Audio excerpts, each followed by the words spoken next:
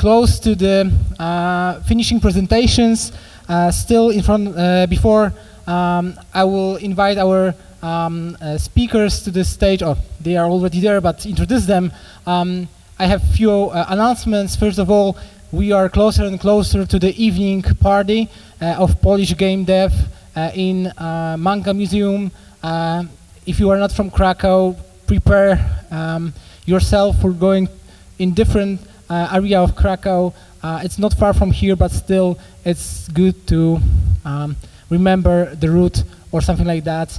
Uh, it won't be very easy, uh, but the place is worth it. Uh, we will have the view, uh, evening view on the Vistula River and Wawel Castle, um, uh, and we will have free beer, um, and uh, we will have the award ceremony. We will uh, present the awards chosen by the journalists for the best Polish uh, mobile game, uh, game as such, and etc. etc. You will see uh, this is the fifth time we are doing this, and our awards, as I see, are more and more recognized in the industry. Um, there is a task for you also to be a member of jury. Um, I've asked few people from the jury from Indie Showcase how many games they have still to play, and they have many of them to, to, to, to play. Uh, but you can be uh, one of the jury members. We have community vote, so uh, use the link uh, bit.ly uh, slash DD community vote, or just ask people participating in, in the showcase or anyone from the crew, or look around our social media for this link. Uh, we are waiting for your votes uh, for the best games in Indie Showcase, and the level is very high this year. We see plenty of games uh, really uh, in, uh, at very high level of production, arts, uh, game design. Okay, um, I think that you know uh, who are the sponsors of the Digital Dragons. So uh, if you're not, please look out to your materials. Uh, any wall in the whole venue, probably you will find them there. Um, but of course, great uh, thanks to all of them for supporting us um, and for, for all those companies who are participating more in Digital Dragons, like 11-bit Studios, uh, participating in the Indie Showcase as a main uh, sponsor. Okay, this is it. Uh, now it's time for our next presentation. Uh, at this stage, this will be the first duet.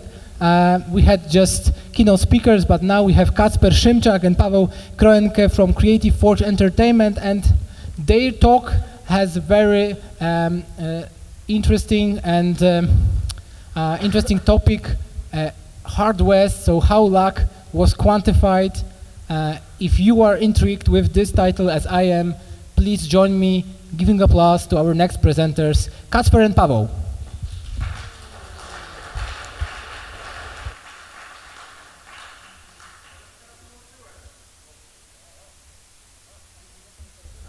Hello? Woo, works.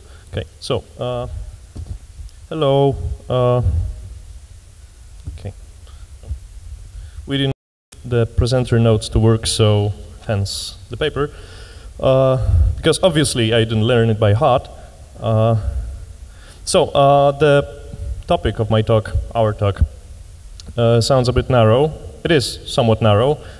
It's more of a deep dive, but I'll be talking more about the context and how problems, the design problems in Hard West were solved, uh, and not as much on, about the system itself. So, for me, it was a huge learning experience to, to, to do this, and I'm, I hope to, to share some of it. Okay, so this is a, a simplified agenda and us. Uh, yeah, the company name is Creative Forge Games, and uh, uh, how many of you have heard about Hard West? Wow, wow, f- flattering. Uh, uh, who of you have actually played Hard West? Okay, that's nice. That's that's quite impressive as well. Uh, okay, so it's a turn-based tactical game about cowboys. You know that. Uh, uh, okay, so if you've all seen the game, I presume we don't have to play the trailer. Anyone willing to see the trailer? Okay. Monsieur, please.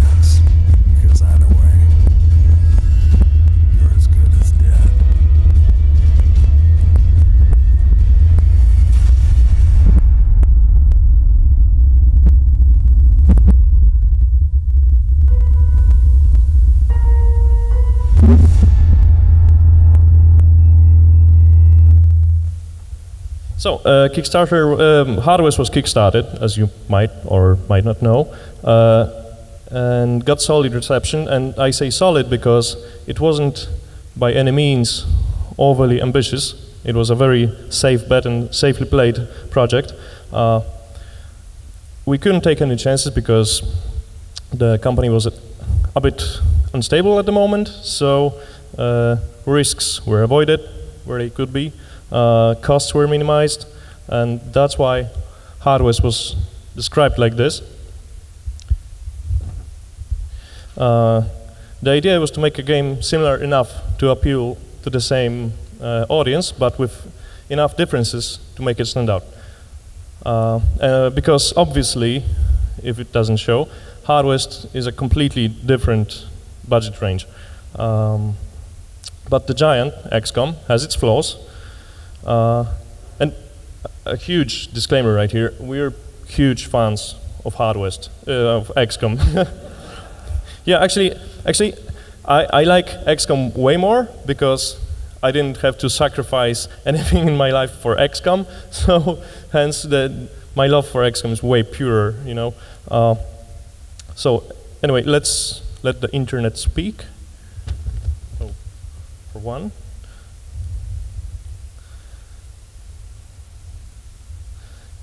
Okay, and my hot favorite.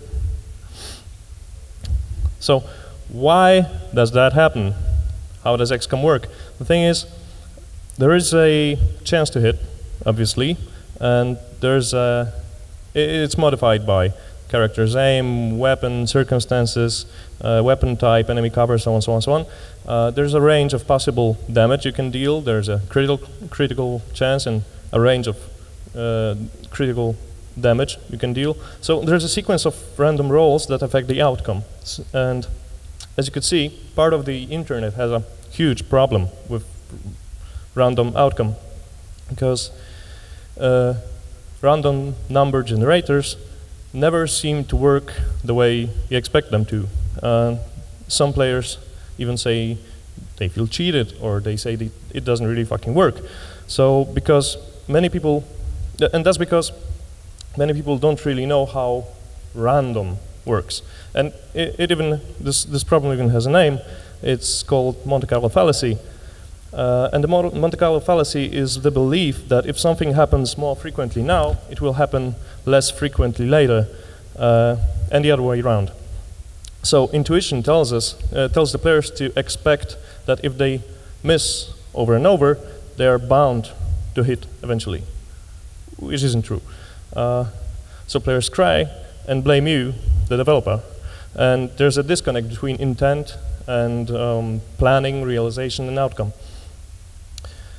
So you might work hard hoping to net good outcome, um, or you might be lazy expecting poor results, but because of a stack of random factors, uh, the outcome can be random. And so what happens is actually life. Anything can happen. And it's a, you know, it's a big fucking mess. Nothing happens as you expect it to. Uh, Another interesting problem is flanking.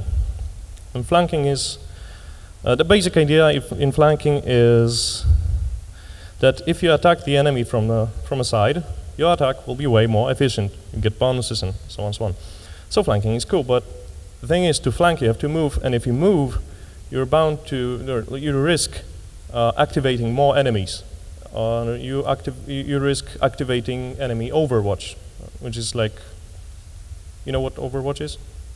Okay, so uh, Overwatch is enemy counterattack. Okay, so if, so because of that, you refrain from something you fear. You refrain from something you know would be good. You refrain from moving, and you refrain from flanking, uh, which would bring you joy. And it is very lifelike, really, right? Because in fear of failure, you fail to have fun, and in fearing life, you fail life, right? So it's very, very realistic. So effectively, one very safe and fairly efficient strategies are like this. You, uh, you skip the whole flanking thing. You keep your, keep your distance. You crawl carefully, move very slowly. And if you spot an enemy, you fire everything you've got, you wait. When you're done, you move on. So this is also probably the most boring strategy, the very effective one.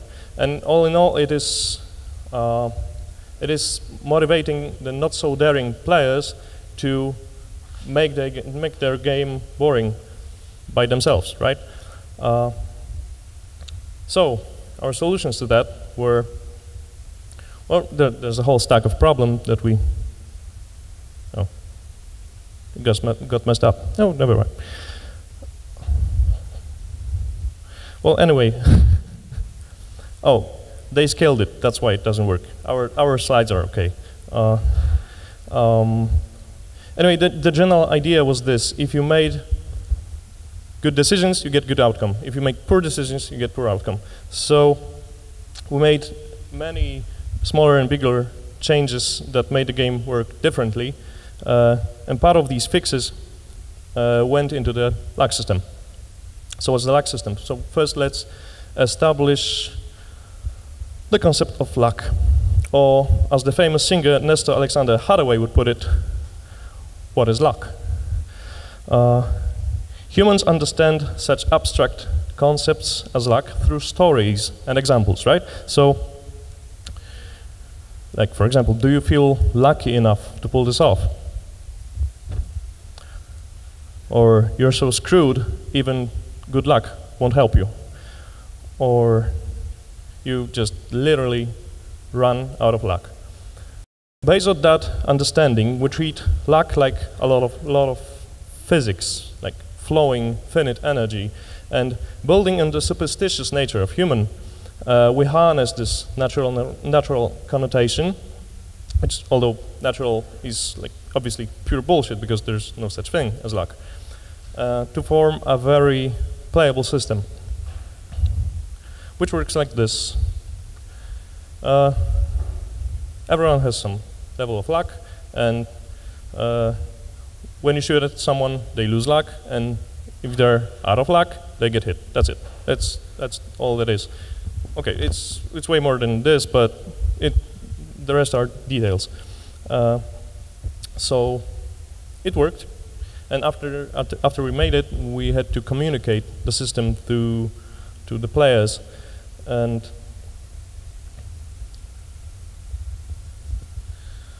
for one, we needed a visual aid, obviously. Uh, so everyone knows like it's green, and it could be a, a clover or something more suitable, a horseshoe. And that's what we ended up with. Uh, a side note here, uh, this, this is what we ended up with, and this is the only screen in the game that tells you what how luck works and the whole system actually. And we got very, very little feedback that people don't get it. So it, it worked miracles.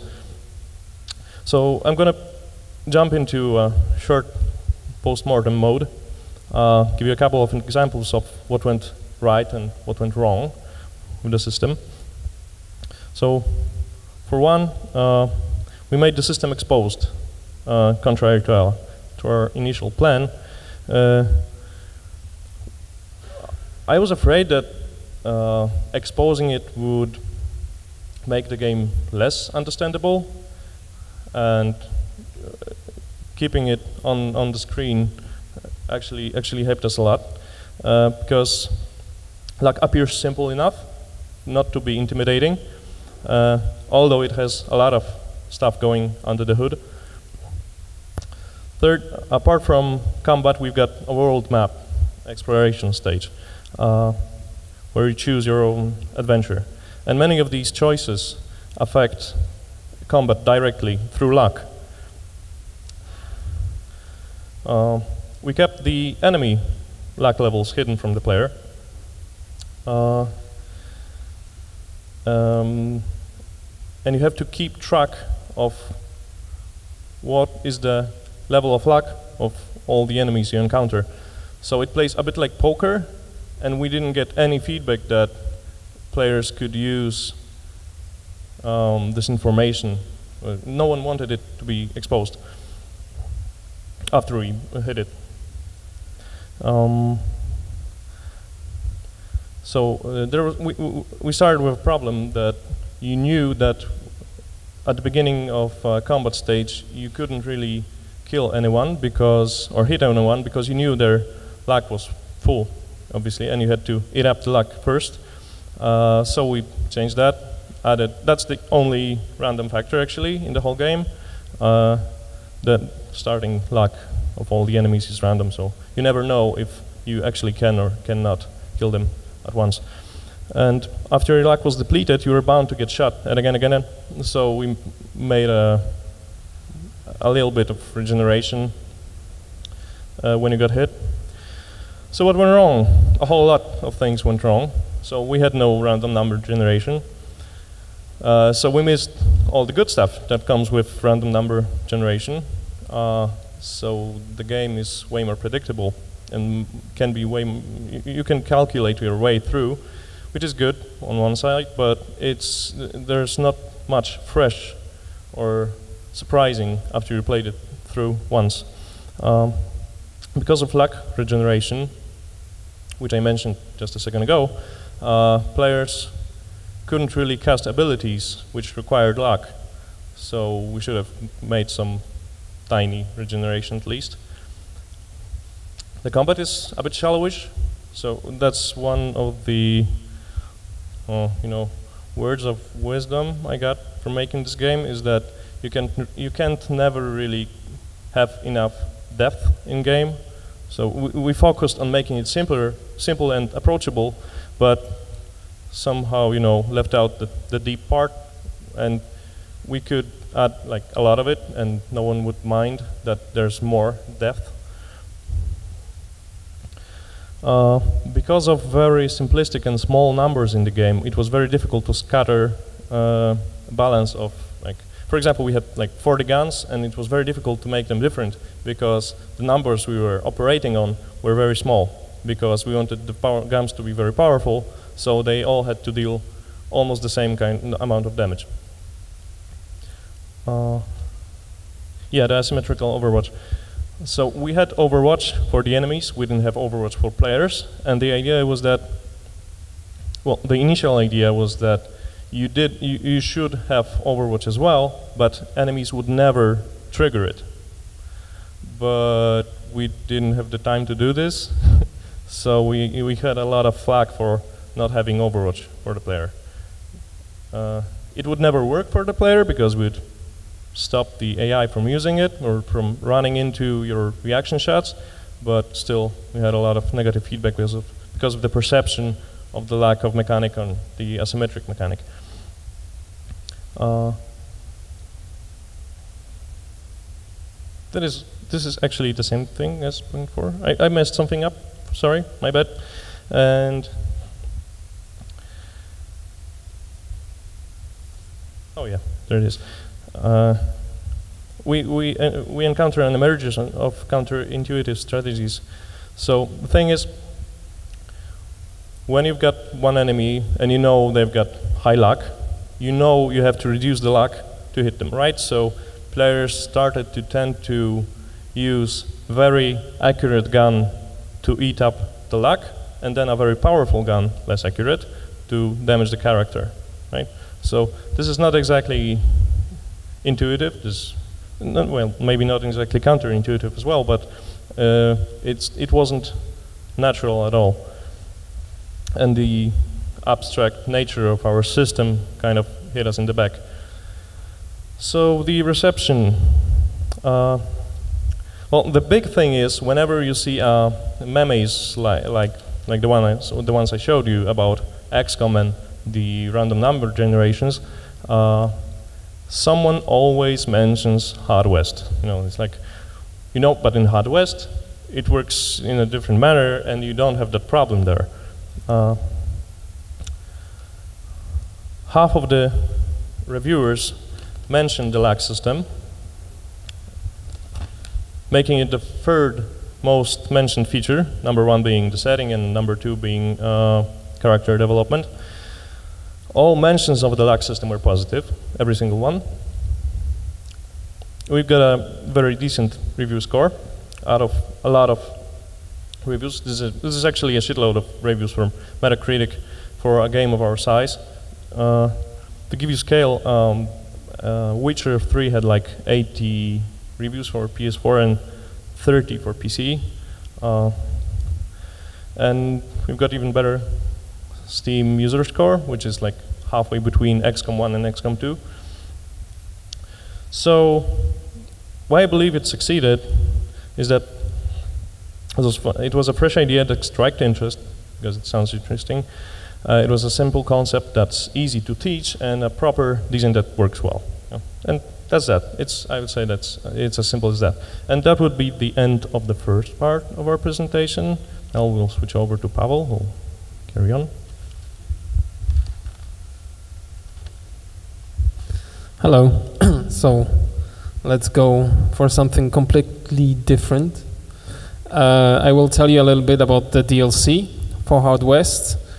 And basically, after the release of the vanilla game, I was bitching a lot about, you know, the various flaws that were uh, in Hard West. So when the DLC got the green light, and Kacper said something along the lines of, "You arrogant fool! If you think you can make it better, then make it better." And that's how I became the project lead on, on the DLC.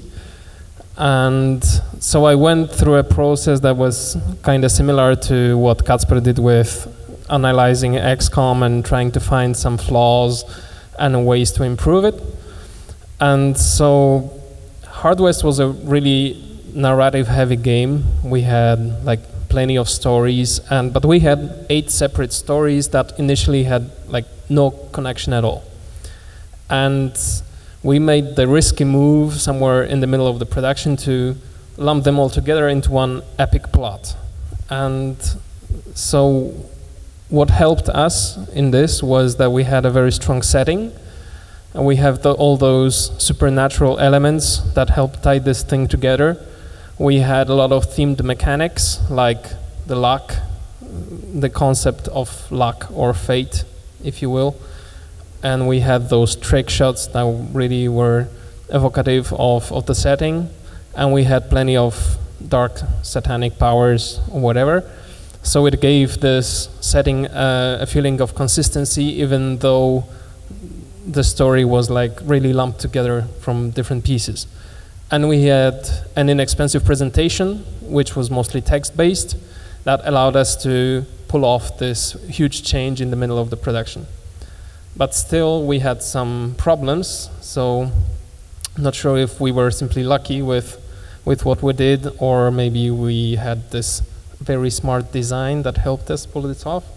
But anyway, uh, we had those characters because now we had like all the stories were linked, so we had some surplus characters that we didn't really need uh, narrative-wise, but we needed them because perhaps the player killed this character off in an earlier episode. And we had some plenty of inconsistencies between the stories because some things worked one way in one scenario and like the next scenario the same thing worked totally different like we had demons that could spawn from hell but in another scenario they would like masquerade as humans and only so there were plenty of such instances that things work differently between various stories.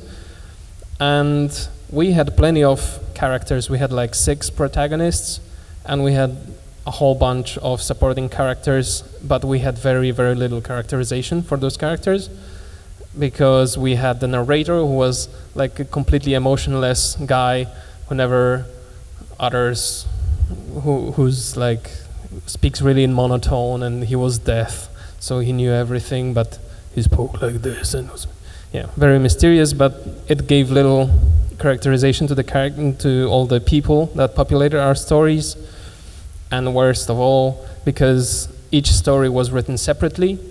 Uh, we had some plot twists that were kind of similar between one another, and I'm not going to tell what they were but anyway, uh, when I sat down to outlining the story for the DLC, we had a pretty good idea of what we wanted to improve from the original game. and what we wanted to keep from the original game and what we wanted to add. So definitely we wanted to improve consistency, basically by making putting the story first and just have everything stem from the story because if this is a narrative heavy game then we figured that maybe this should be like the top the, the first thing the first step from which we start everything else.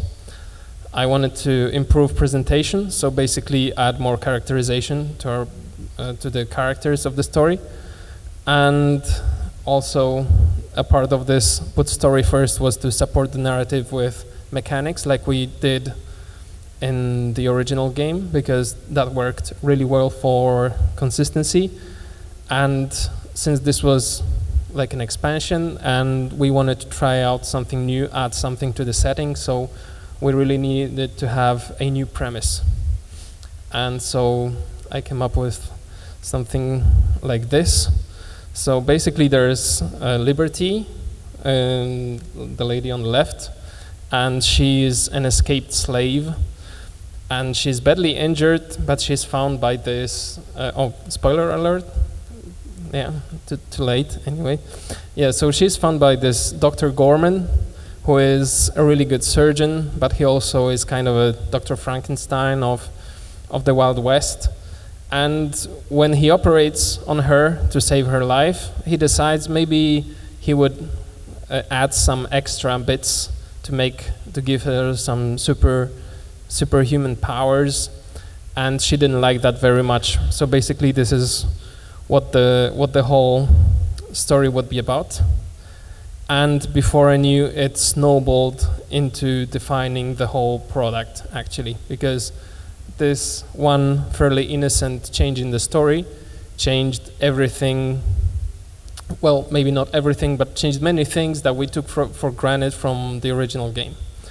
And so uh, since we moved into more of a gothic horror setting uh, this struggle between death and devil which was purely supernatural and which was featured in the main game was no longer valid because we were more uh, this Dr. Gorman was more into science with an exclamation mark, and liberty was more about being free and you know not being oppressed. So this supernatural angle no longer made sense in this new premise. Instead of that, because liberty was now augmented with superpowers uh, due to you know having some extra limbs and body parts, this body augmentation became a really big deal that should be central to the story and to the game. And since, since we no longer had this supernatural thing, then Death as a narrator no longer made sense. And he was a perfect omniscient na narrator because he's this supernatural power, and now we didn't have this supernatural, so we had to contend with that in some way. And so there were many there are many reflections of this in the game. And in in the vanilla game, we had this totally awesome uh, character development system where you would collect cards. Each card is an ability, and you could put those cards uh, for each character, and you could make poker hands out of them to get some extra bonuses. But and this worked really well because it fit the setting in the original game, and people, when they saw that, they automatically created some explanations, like, for example, it's death playing poker with you, or these are magical cards because they are from the devil, or something. So this worked well, and this was really liked by everyone, basically. And but it no longer fit this new premise. We had this gothic horror, we didn't have the supernatural, so those cards didn't fit just as well as they did in the original game. So even though this was elegant design that everybody liked, it was no longer very fitting for this DLC. So we decided to change it, even though that was a pretty risky move. And we changed it not very much actually. We only replaced the cards, the poker cards, with uh, pictures of body parts. Like you can see, this is the bull's heart or something. So you could put those cards like you did in the original game, but instead of poker cards, they were body parts. And we said this is like transplanting those body parts onto your characters. And you could still make, arrange them in some sort of um, combinations to get additional bonuses. And this also worked very well because people automatically started creating different explanations that this is, they had this image that you transplant body parts onto a character and this was such a powerful image that they basically overlooked completely that this was more or less the same system that was in the original game, just reskinned into a new thing. So this worked pretty. This worked out pretty well, and it also had the added value that now it wasn't about fate, it wasn't about luck, it wasn't supernatural. So you could plan for buying those body parts because in the original game you would get those cards randomly after a certain episode or after a certain battle, you would get like a bunch of cards and they were randomly selected from the pool. And now you had those body parts and there was a special shop where you could buy those body parts or you could walk around in the exploration phase and collect new body parts. And so you could strategically plan whether you want those upgrades or different upgrades, because of course you couldn't buy them all. So you could just develop your characters as you wished and not basically as the game allowed you to because you got some random cards. So this made this strategic layer a little bit more strategic. And with narration, we had this, because we no longer had death, uh, he no longer fit, we no longer had the omniscient narrator, and neither of our protagonists made good omniscient narrators because they were just ordinary humans. Uh, so we decided to scrap Death entirely, even though he was also liked. The actor was very good, and you know the whole concept of this uh, mysterious supernatural guy telling you everything that happened, and we scrapped that in favor of of putting, giving our protagonist voices. We had two protagonists now. We had Liberty and Dr. Gorman, and each of them got their separate voice. They had different voice actors, and they would both tell their story. Liberty would tell one chunk of the story, and Dr. Gorman would tell the other part of the story. And uh, we basically we only kept the retrospect. Like in the original game, you have Death recounting past events just to create an image of some sort. And here we had those two characters talking to one another, and they would explain their parts and their stories to one another. So this allowed is the improved characterization because since now they had voices, they could be more emotional, they could present some of their personal views, so we could really make them stand out and be like more clear cut and, and be more characteristic than what we could achieve in the original game. And since we had two actors now, it added some variety to the game. So um, yeah, so these are some of the challenges that we had for the DLC and what we did with every one of them. So we had one scenario with a consistent setting from start to finish because it was planned that way from the start. We had um, improved presentation because now the characters had more characterization. Uh, we didn't have the narrator, the original one. We, it didn't make sense, but instead we made the protagonist narrators. We didn't have the supernatural angle, but we replaced all those fate-themed things with science-themed things. And we made use of the body augmentation as a theme by making it the character development system. And basically, that's it. So, thank you very much. Do you have any questions, maybe, or anything?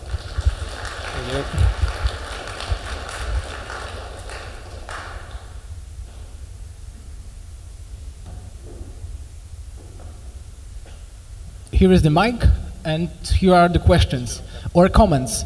Um, this was the case study, so it's uh, difficult to um, just right away uh, ask any questions, but I'm sure that you have something in your mind. Yep. Uh, hello, uh, thanks for the presentation and for the case study. So my question would be, um, don't you feel that um, it would be better to differentiate, like in the uh, in terms of art and in terms of design, the uh, the augs that you introduced in the DLC? Because uh, from what I saw here, as you said, uh, they both look like cards. So, for example, I, I, don't know, did you have an idea, for example, to split a character into five areas where you can place the augs in, just like they did, for example, in the Deus Ex games? Because the concept of uh, taking the cards off and uh, giving a good explanation of why are we using augmentations is very good, but I thought about the graphic presentation because from the screens you presented, they, they all look like uh, poker, car uh, poker cards and poker hands. So yes, but um, well, obviously, yes, we actually um, thought about this, and this was a no-go from the start, actually, because um, the interface, the GUI, was like the, one of the most expensive things ever in production. So it was something that we just could not afford to do. So basically, we had to um, like pretend that it was meant to be that way. this is a good explanation, I would say. Okay. Um, anyone, any comments about uh, what we have seen? Or you want to want to share your thoughts about the process? Okay. Um, so uh, I will uh, I will ask a question um, that I think that will wrap up somehow this session. Um, you showed us the, the, the process and um, um let's say this, I don't know if this is the proper word, but uh, some sort of struggle, uh, also uh, a lot of choices. Um, what is your ultimate um, rule when you make uh, uh, difficult choices when designing the game? So is there something like, what do you think about, um, I know that you have to think about money, yep. and this is a, this is a good designing, um, you know, constraint, but what is your like, do you have any method for that, or this is just like uh, incorporated in the company some way?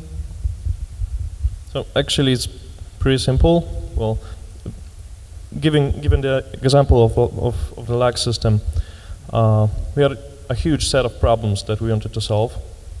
We digested in a lot of examples, a lot of movies and movie scenes and games, and replayed them all. And you have to really let it sink in. You need time. You, let, you have to let it brew somewhere in the back of your head. It's like I have no, I don't know where, where, where this process is taking place, but definitely not in the conscious. You know, uh, and eventually you have to come up with some solutions. You you try them one by another, and it's it's pretty quite. It's it's really hard hard work testing like a hundred of solutions until you find one that isn't not working because that's like the that you don't find the best one you find one that is working with all your constraints and then you're done. Okay. yeah. Um, and um, and going closer to what I had in mind when is the moment when you think about the player? So when is the moment that you meet the player or so do you assume that you understand what he needs or do you expect what he will need or do you have any method of meeting the player um, checking with people who are potential players if your ideas are okay. So wh when is the moment when you meet the player in the whole process of game design? Okay, I guess it depends on, on the means you have available. Uh, in our case, we uh, we we tested a lot of the a lot of our solutions on people who work uh, with us. Tested on people, sort of like that. Yeah, yeah it's. Um, basically, uh, when you have some shred of, of a solution, you try to present it to um, to the other guys, get some feedback from you know from the company, and they will tell you like, "Oh, this is a totally awful idea. I, I hate it," which is a point, not not necessarily a valid one because it's it seems after you know after making this game we have like the impression that game developers have particular tastes and expectations which differ from from players. Like the general populace of the players, but on the other hand, there, it's hard to find this general average player. There's like everyone has their expectations, and um, so yeah, to actually answer a question, it's. um, it's very hard to meet the player unless you have like structures, like you know, bringing in some people from from from the outside to, to test your game, and it's never really um, like the, the very confirmation that you're looking for. You have to play it on instinct a little bit or on your experiences, and that's, I guess, how you meet the player by trying to empathize with the player. Okay, I like the answer. So um, what I took from that is uh, you have you, you have to risk a bit. You have to uh, believe in your intuition uh, always, and uh, somehow empathize and imagine what's uh, what are the expectations because I understand that the budgets, the constraints are so high that it's difficult to have always the board of advisors, uh, average players. They are Yeah, impossible to find, by the way. Yeah, yeah. Okay. Does anyone have a question uh, at this moment? So now, please uh, join me giving thanks to our speakers uh, to this ca- case study. We,